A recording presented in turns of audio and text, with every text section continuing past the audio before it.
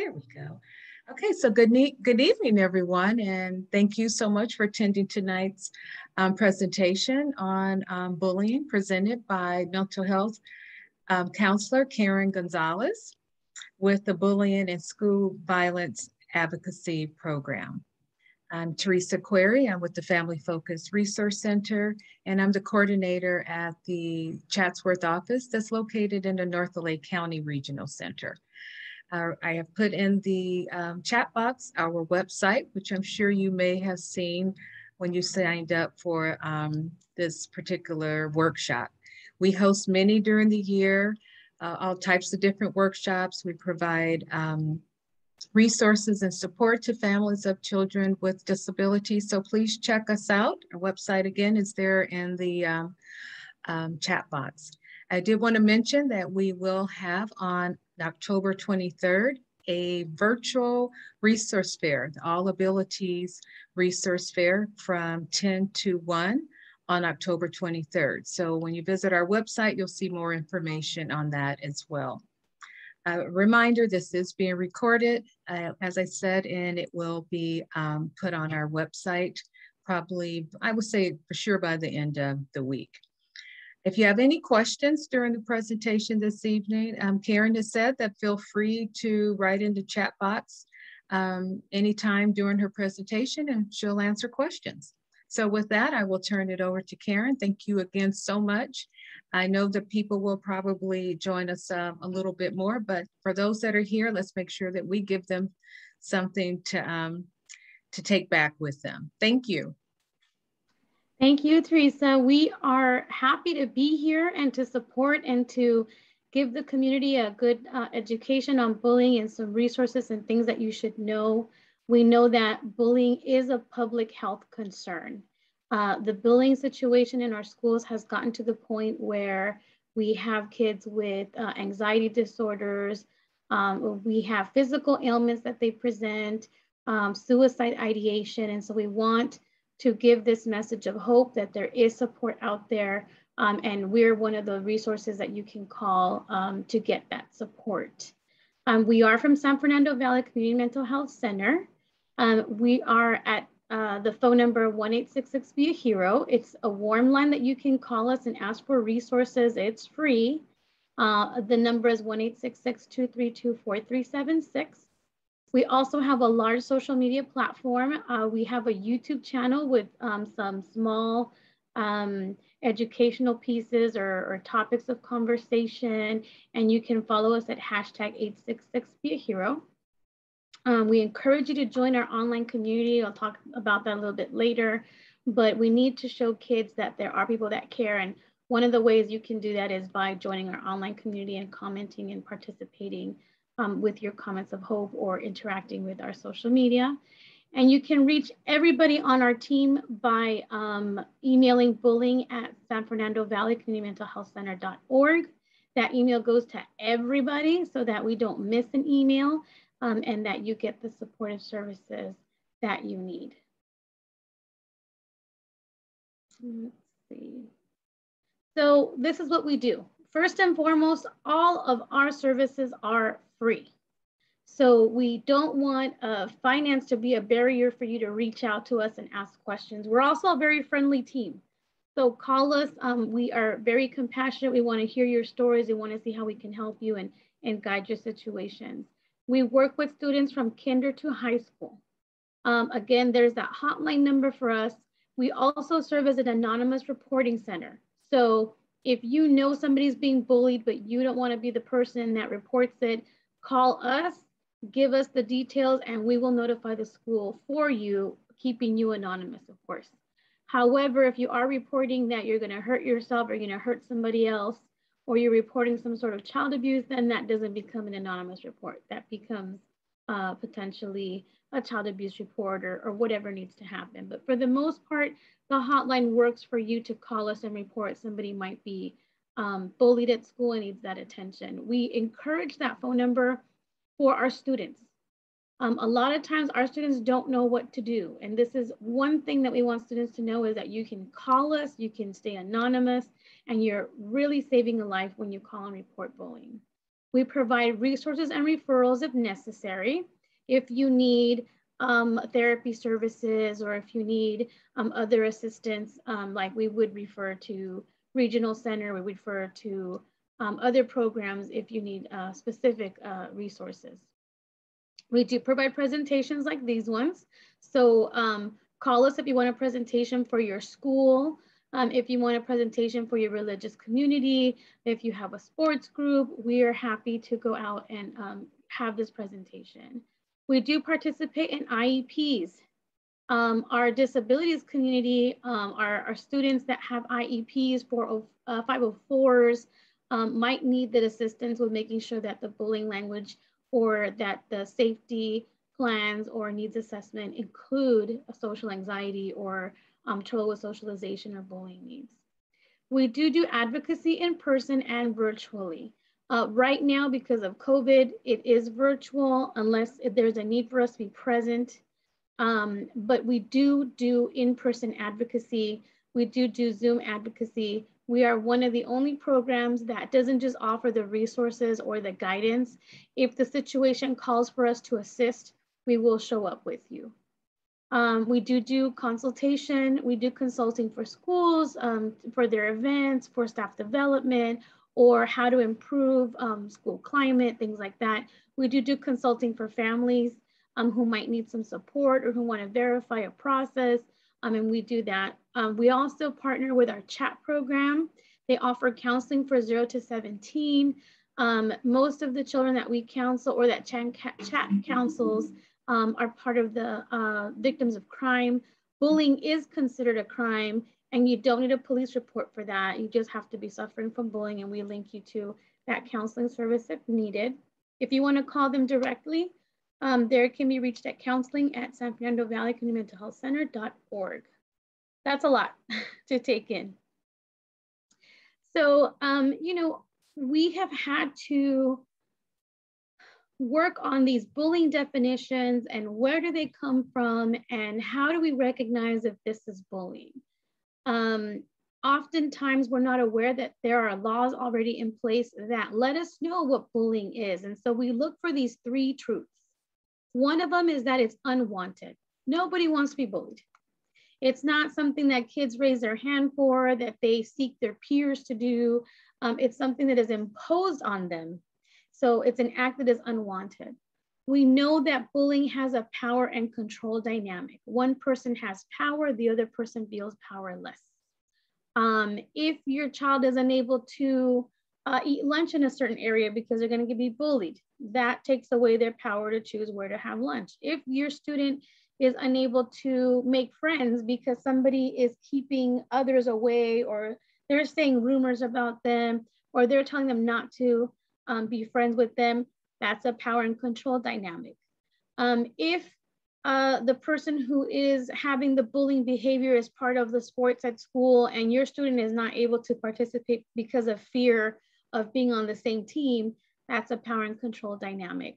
When one person is benefiting from the school more than the other because of bullying, that's a power and control dynamic. And of course, these situations happen more than once. So when it, things happen more than once, we might get into a conversation about is this an incident or is this bullying? An incident is something that happens one time. I may be having a bad day and I push somebody, a teacher sees me, they call my attention, and then I stop my behavior and it doesn't happen again. Bullying is calling you names on Monday, pushing you on Tuesday. The following week, I might tell somebody a rumor about you. Uh, the month later, I might um, continue to call you names. And so we see that there's a pattern of behavior that happens. You're a target um, and it's happening more than once. So when these three things come together, um, we know that the child is suffering through bullying and it gives us an opportunity to talk to the school um, and address these issues to create a plan for the child to be able to go to school um, and be successful uh, academically. So a lot of times they ask us, how do I know if my child's being bullied? My child comes home and they don't tell me anything or they don't um they don't share with me that someone's bothering them. So we really have to pay attention to our, our children and and what changes happen in their behavior or their person um, or um, even in their things. So we might notice changes in, in attitude or behavior. Um, they might be sad and depressed. So I might have liked to go to school and now I really don't want to go. I might have been very outgoing and now I don't feel that way. I feel depressed. Uh, my self-esteem has come down. When our kids have that sadness and that depression, when they feel helpless, when they feel hopeless, we might have them think about suicide ideation. Um, they might really be impacted by feeling like this problem isn't going away. I can't solve it myself. And it's really overwhelming. And then they have that hopelessness. Um, so we need to pay attention to that. Um, maybe the things that they used to enjoy, they don't enjoy anymore. So it's important to um, pay attention to their enjoyment. If they used to like to hang out outside and now they're always inside, uh, maybe they're irritant. Uh, maybe they are irritated by people asking them questions or whatever happened at school that they couldn't react to, they're reacting at home. Um, if I couldn't be upset at school, then I'm going to be upset at home. That can be something that happens. They might be fearful. They might not want to go to school. They might not want to go outside. Um, and then they're hyper vigilant. The hypervigilance is um, uh, looking at their phone often, looking at their computer screen often, um, looking at how they dress, uh, looking over their shoulder, not wanting to go into the restroom at school, um, you know, taking their time with things, and that's just being hypervigilant. Um, changes in behaviors like not wanting to go to school, they're more quiet than usual, and maybe there's a change in appetite. So they might be hungry uh, hungrier or they're not so hungry anymore. So we might look at where they might change uh, typical behaviors. There's signals in the body like bruises or torn clothes, or maybe their property has been lost or broken or stolen. Um, let's look at um, gum in the hair. Uh, let's look at uh, um, scratches or um, maybe their clothes having a strange mark like it was being pulled, things like that those are signals that we can look into. Um, and also health changes. Your kid is starting to have a lot of headaches, a lot of stomach aches, um, uh, changes in the appetite or changes in their sleep patterns. Um, these are things that we would be um, looking towards their health. Um, these are also signs that might identify to us that um, something's going on. Um, up until this point, I'm just gonna check chat. Doesn't look like anybody has any questions.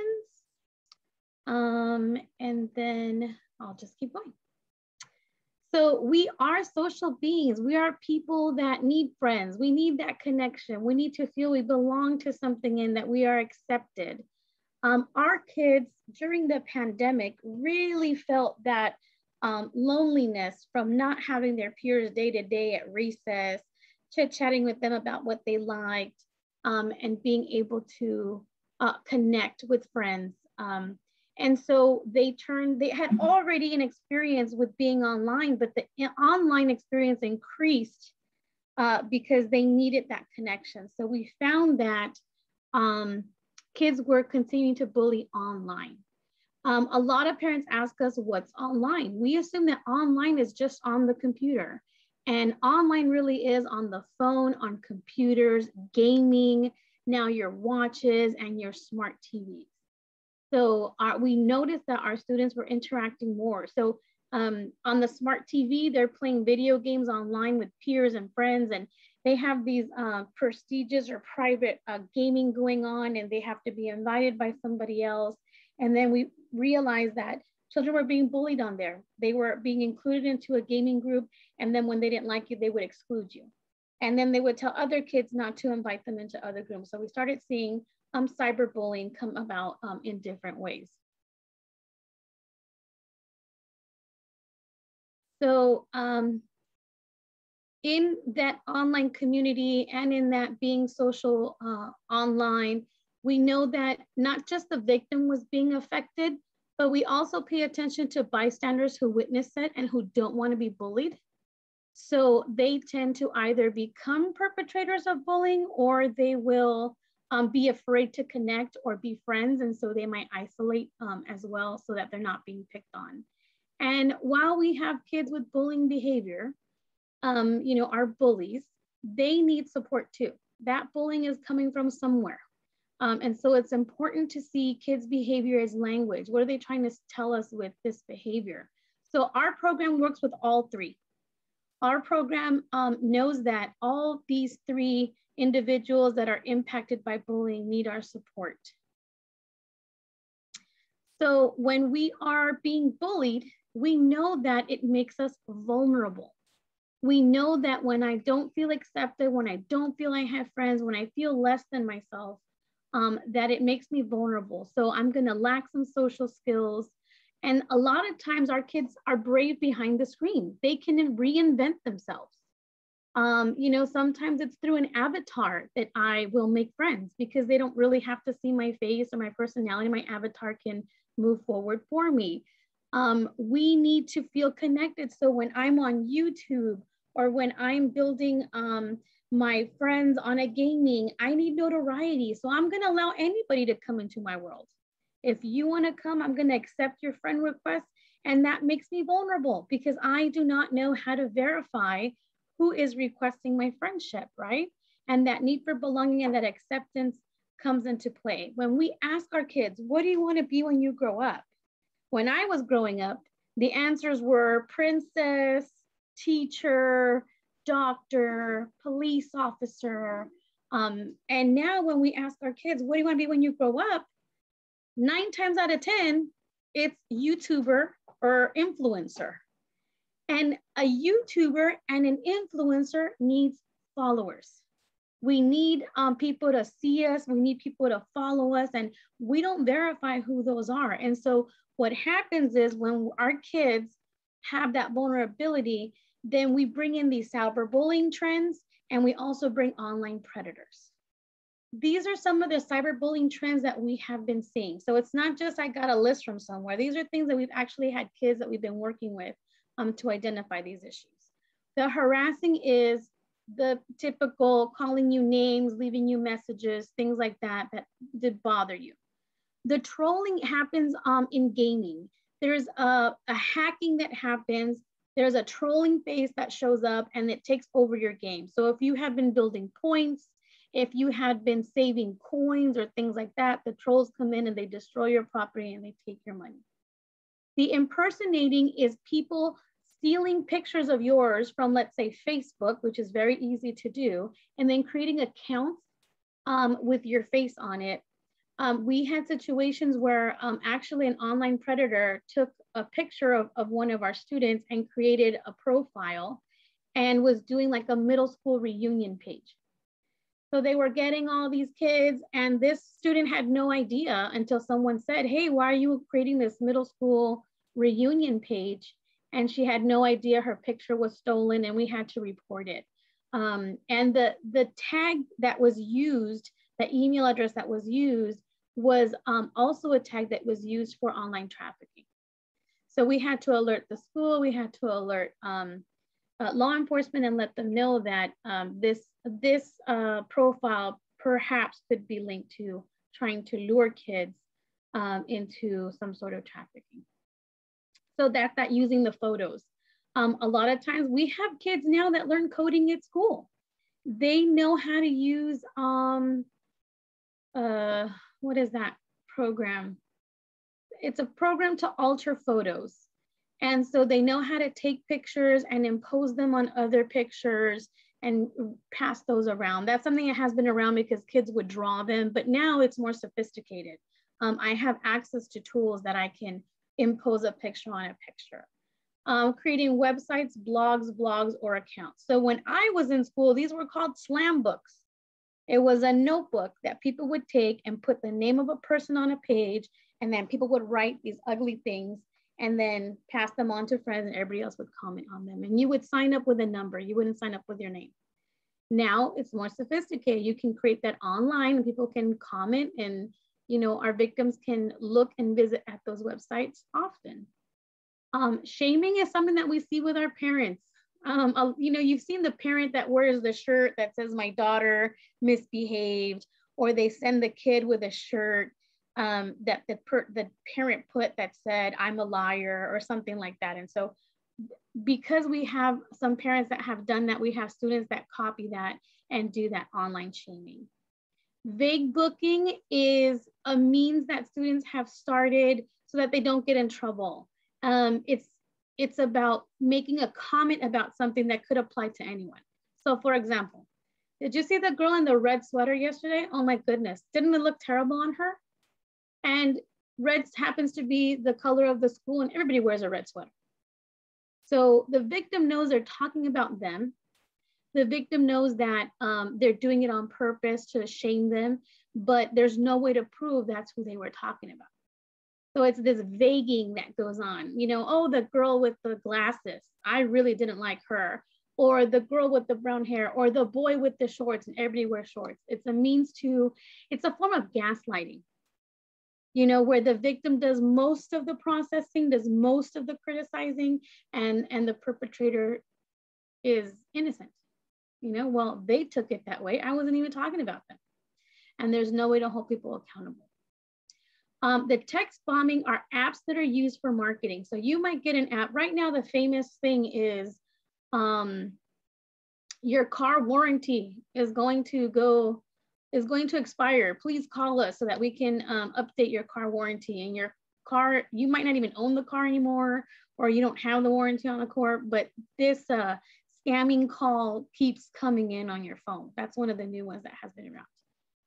It's a marketing tool. So what happens is you can program this app to say, I don't like you a hundred times a day. And the app will send that text to kids and they're hands free. So the text will come in and the, the perpetrator will be like, well, I don't even have my phone today. That's not even my number. Look, a text just came in. You know, that doesn't have anything to do with me. So it's important that we know our kids' phones and that we know what apps we have on them and what people are using. The deep faking is something that came uh, with apps that are called refacing. Um, basically, it's um, imposing your face on a movie scene. So I had, when it first came out, I put my face on Selena's body and I did one of her concerts in, in this virtual, you know, kind of jokey kind of thing. There was a guy who did a really great uh, Tom Cruise impersonation. And so he did the mannerisms and he put Tom Cruise's face on him and it looks like Tom Cruise is doing it, but it's an impersonator. So we have these apps that are meant for fun and kids are using them to reimpose them doing inappropriate things. So they might put the face on someone that's smoking. They might put their face on someone that's doing something um, sexually exploitive. Um, and so I know that there's an actress whose face was used for pornography in this app.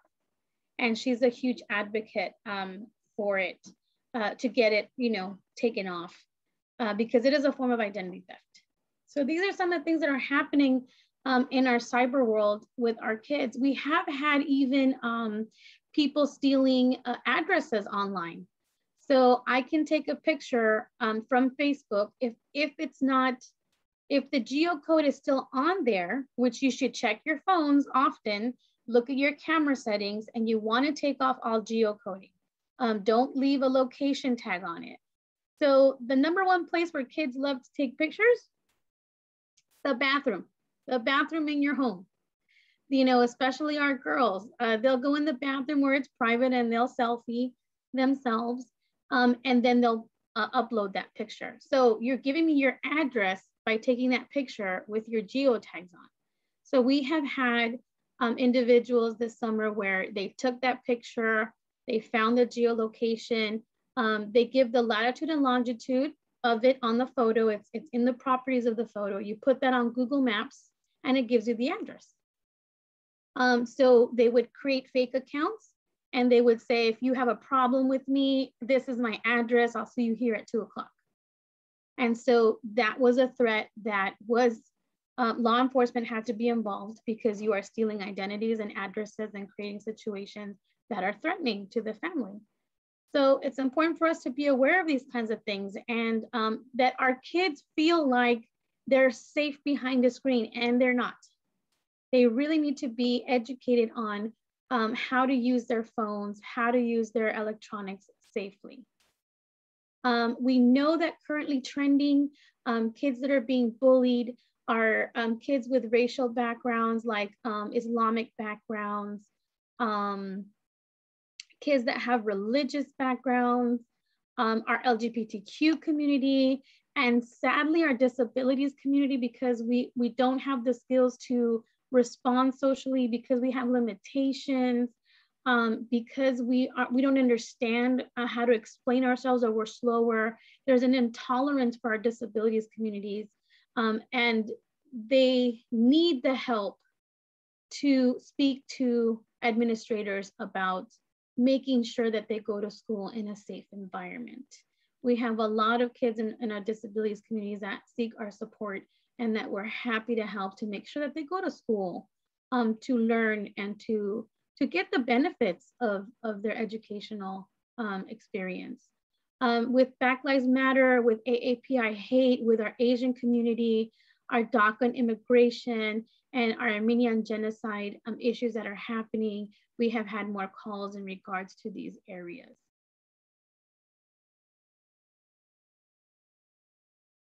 So we know that bullying is a public health concern. We know that we need everybody's support to help um, rid ourselves of bullying in our schools. It's not something that should be tolerated. It's something that moves on to other situations. Kids who learn power and control dynamics um, usually get into um, domestic violence situations when they're older, um, teen dating violence. Um, we know that kids who are bullying um, and have these behaviors um, who don't get the support tend to have substance abuse issues, drop out of school, they vandalize, they might join gangs. and so again, contributing to our, our, our public safety concerns. And of course, our bystanders they suffer the most when something happens to the victim.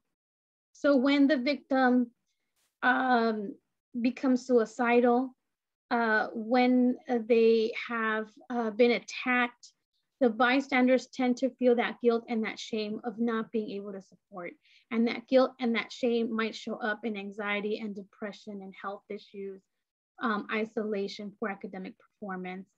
Um, so we know that bullying is something that needs to be addressed because it impacts us all.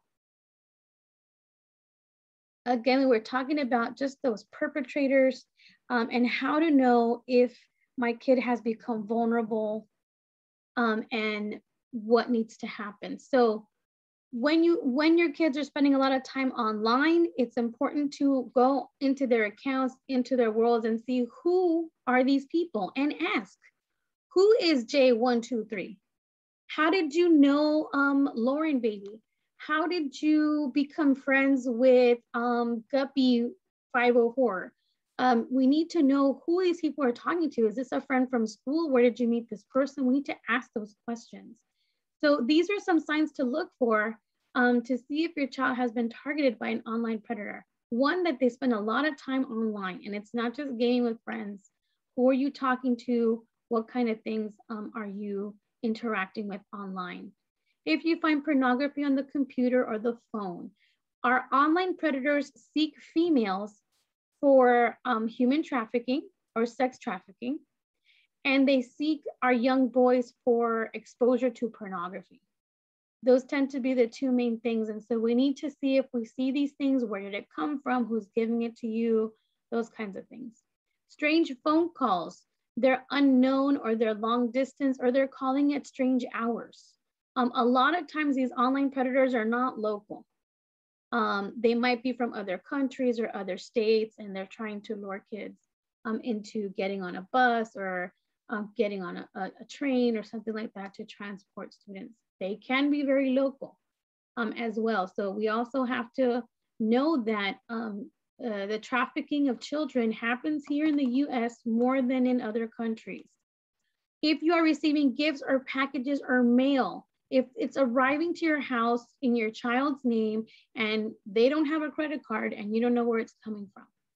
So what happens is a lot of our kids go on YouTube and they'll you know talk about whatever game they're playing or whatnot and so a fan might send might have stolen a picture got the address and sends a package the child receives the package and on their next you know blog on youtube hey thank you john124 i got your package and i like the product and I appreciate you sending it to me. And the kid is unaware that you that they just confirmed their address.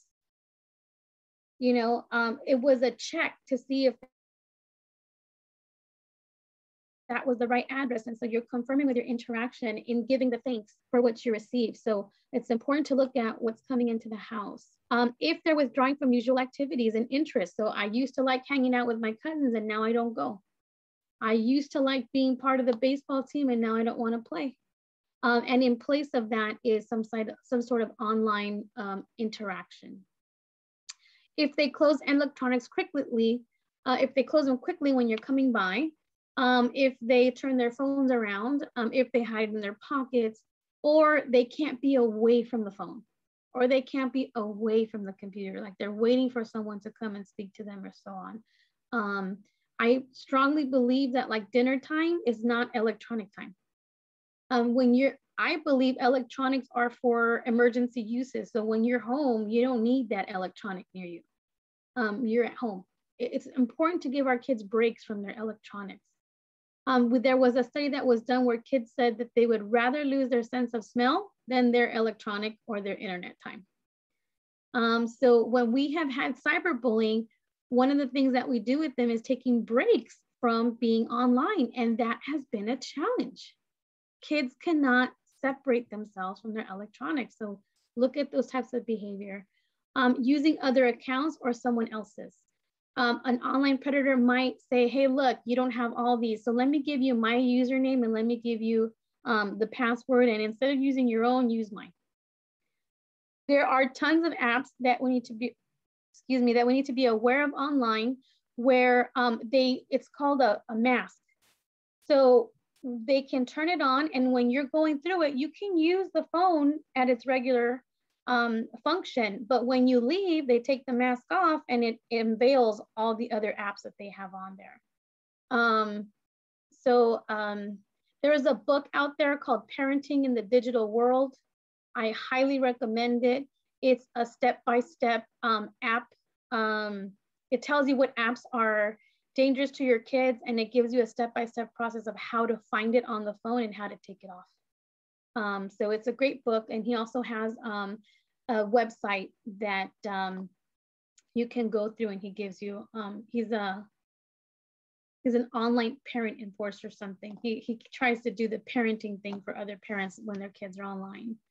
Um, and then when they keep relationships a secret, um, when you don't know the relationships that the kids are having online. These are all the California laws and policies um, all these laws um, and policies tell us about how to work with our kids, what our rights are, what we should do, how we support. Um, and so when we feel like we're not protected or nothing's out there, if this is just at a glance. I'm not going to go through all of these. I know all of these because of the work that we do, but we do have laws and policies that protect us and we do have those rights. Um, the book name again is um, Parenting in the Digital World. And I believe it's Michael Clayton that uh, wrote that book. I'll look it up and put it in the chat box. Thank you. I mm-hmm. appreciate mm -hmm. that. Parenting My partner is not here today.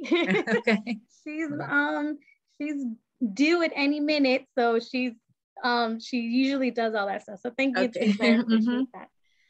Um, yeah, so these are just those policies and procedures that have to happen.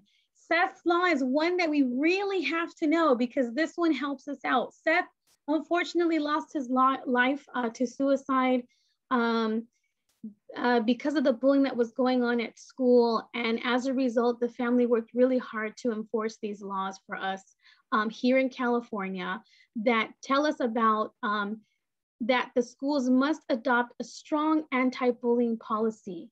It has to specifically spell out prohibited, prohibited basis for bullying, which includes sexual orientation and gender identity and gender expression. Um, we need to adopt a specific process for receiving and investigating complaints of bullying, including a requirement that school personnel intervene if they witness bullying. In addition to this, school personnel has to be trained in how to recognize and respond to bullying. Um, there has to be a publicized anti-bullying policy and complaint process. It should be in your student handbook. It should be posted on the walls in your office. The kids should have access to it. It should be on the website and the district must also publicly uh, post these policies. Again, it has to be on the district website. So when you go to the school, it should not be a question about what is the bullying policy. You should know it because it's visible to you and it's already been presented to you. Um, you can even ask when the last bullying training was for your school. Um, and so this really helps us make sure that our kids are in an environment with adults that are going to respond to bullying. Jordan's law is specific to recording, particularly in our middle schools. We have kids that have fights on campus and they like to record them and they post them to receive notoriety or credit um, for the fight. Um, I see a question. Thank you.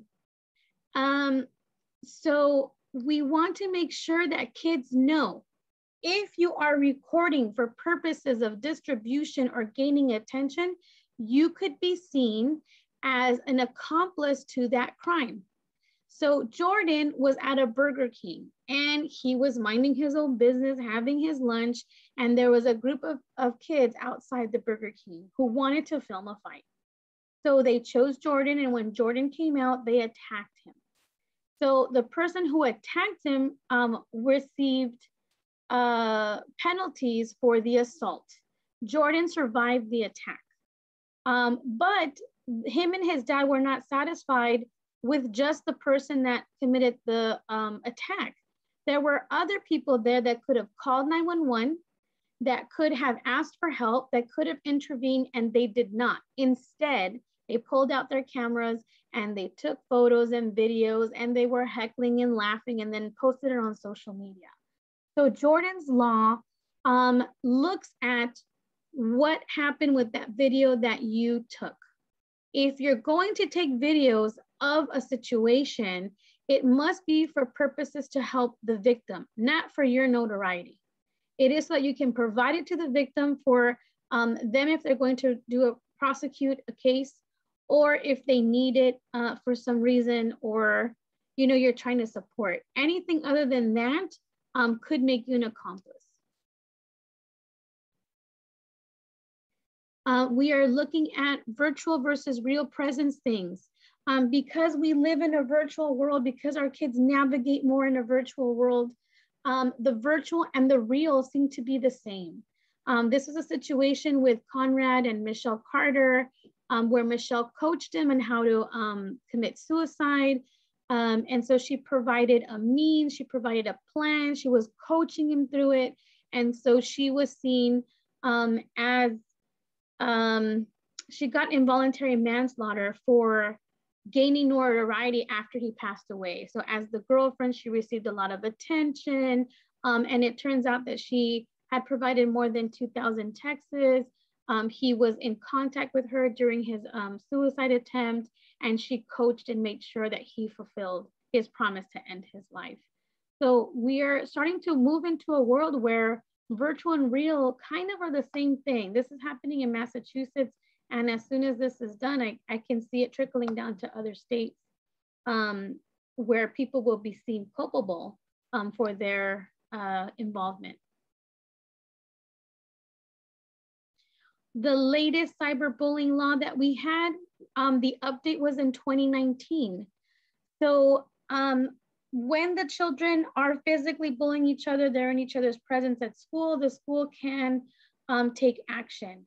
When it happens outside of their school or it happens in a virtual world outside of their um, scope, they, there was not much that they could do. In 2019, that changed. If the kids are gonna return to school and there's a potential for the problem to continue in school, then schools can and should intervene um, in this online bullying, the cyberbullying that happens at school. So now schools have to address um, cyberbullying at the school if it's impacting them there as well. And then the California Safe Place to Learn Act is you reinforcing that there should be protection for everybody online or on campus, even off campus if it's gonna come back to school and support. Bullying is such a big issue for us and it we cannot expect the school to take care of it on their own. And we cannot expect parents to take care of it on their own. And we cannot expect that it happens only in our community. We need to work together to make sure that bullying is not okay on campus, off campus, in my park, in my home, in my community, um, and not in my school. We also need to support our school staff. We need to support our principals with these issues um, so that we can together um, rid ourselves of the situation. You need to know your rights. This is something that is guaranteed to you. You have a right to a safe environment and an education. You have a right to send your child to school and make sure that they come back in a safe manner. That's your right. You have a right to be heard. You have a right to tell your story.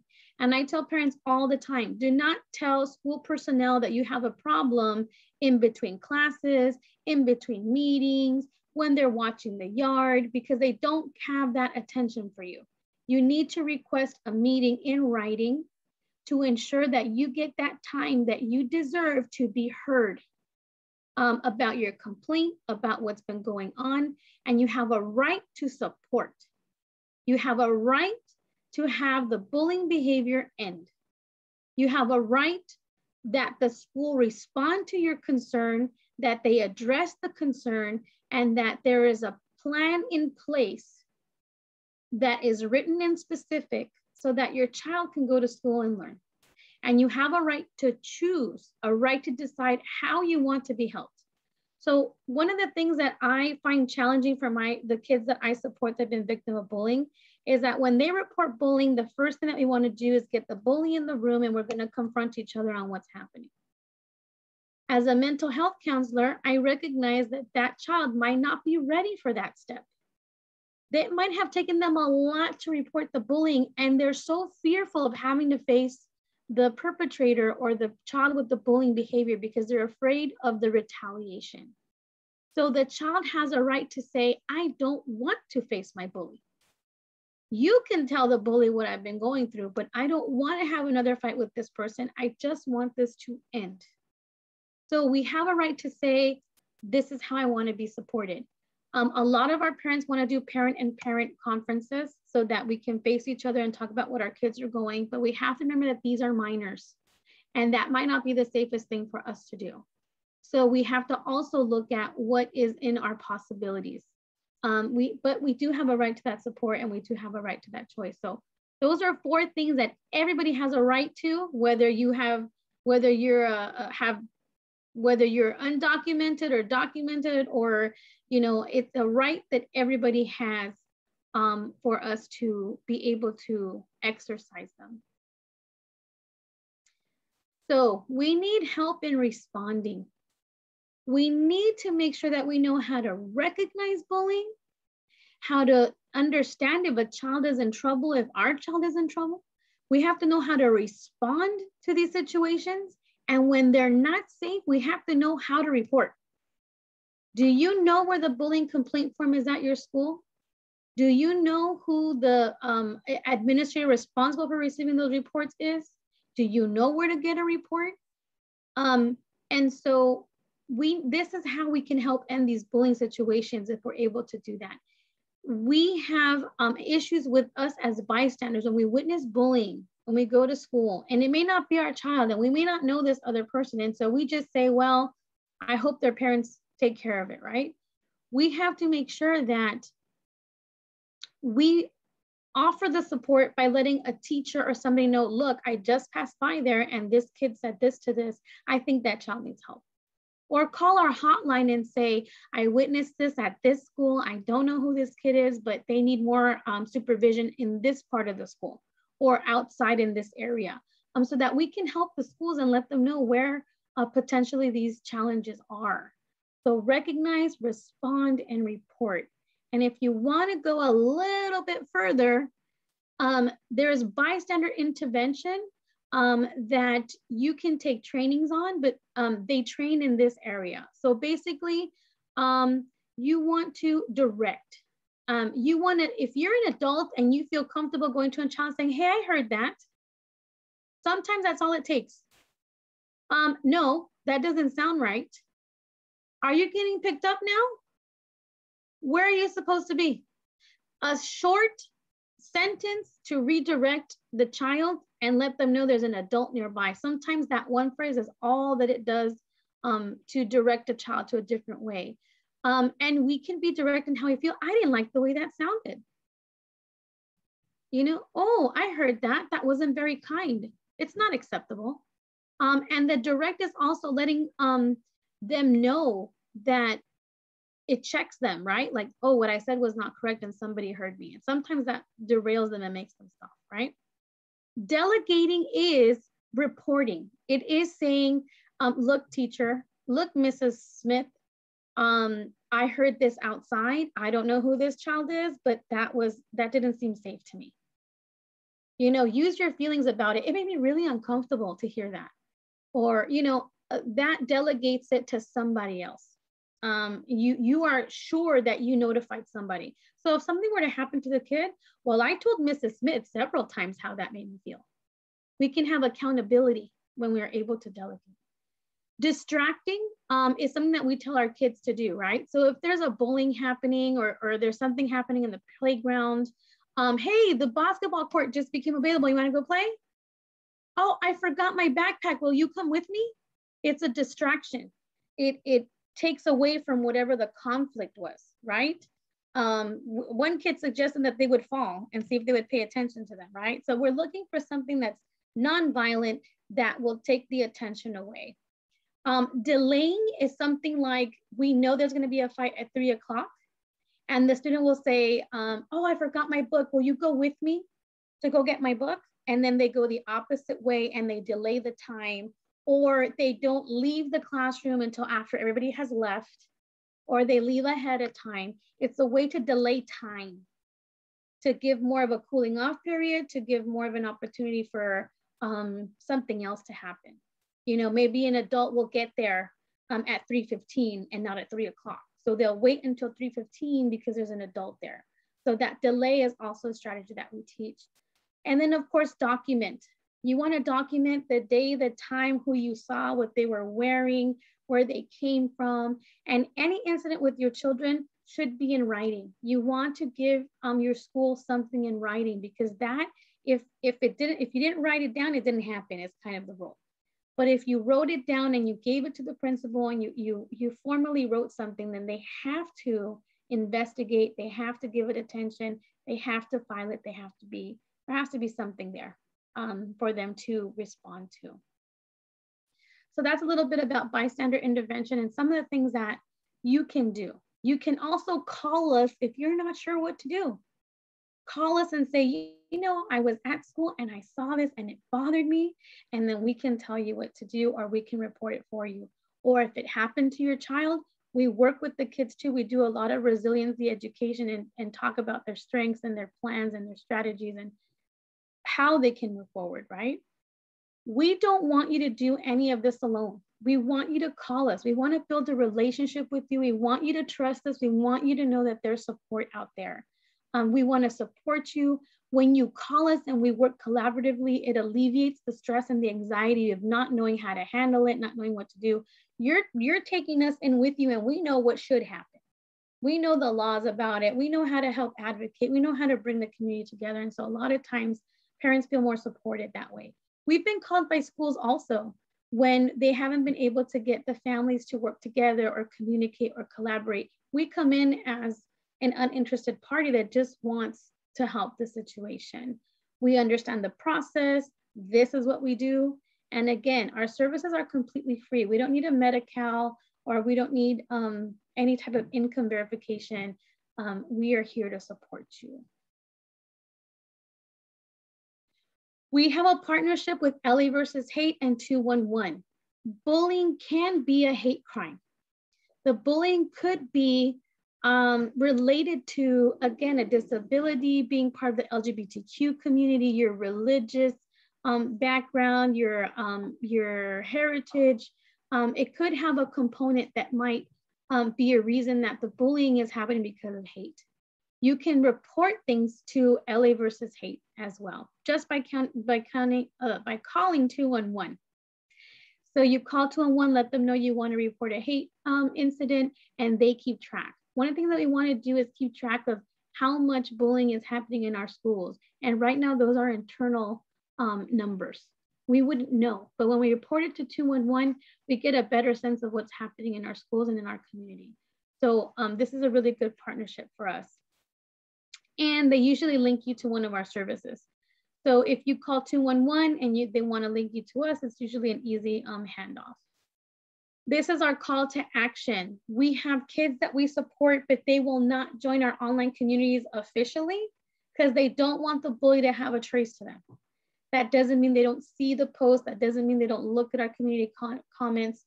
And so the more people are on our online communities, um, our kids see that there's support.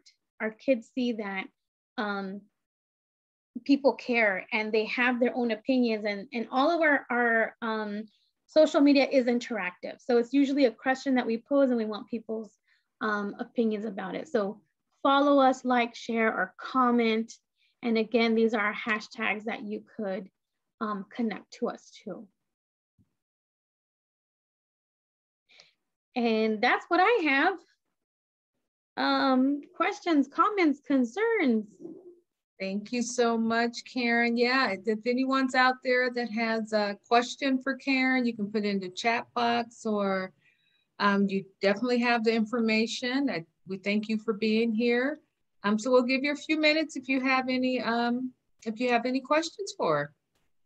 Wendy, did you have any questions? I, I think I, I saw a request earlier, but I could, I could just been. You said, what was that, Karen? I, I thought I saw Wendy with the request to talk, but I didn't. Uh, I oh. don't know if that was me or that was her. Interesting. I don't see. I don't see any names.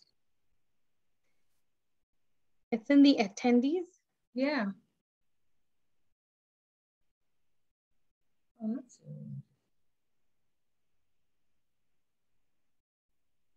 Yeah, that's.